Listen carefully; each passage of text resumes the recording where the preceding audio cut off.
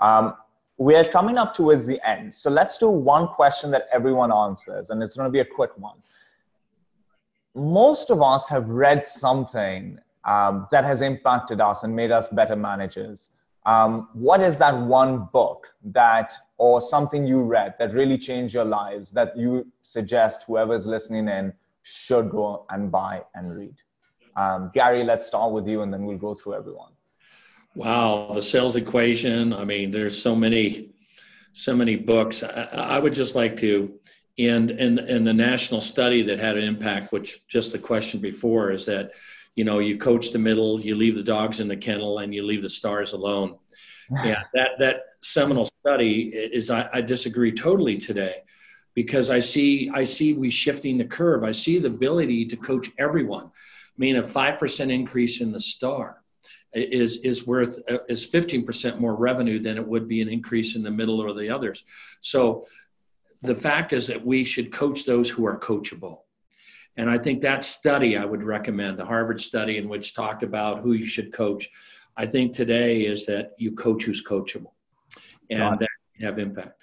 Love it. Perfect. Kara, is there a book that you um, So I I just want to give a shout out to podcasts because I do think I've read a lot of good books, but I do many more podcasts now that are sort of current and expose me to a lot of different people.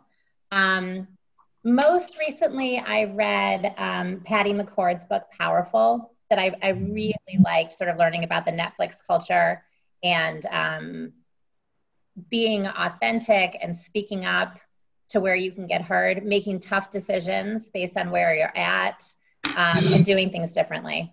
Love it. Um, Wendy.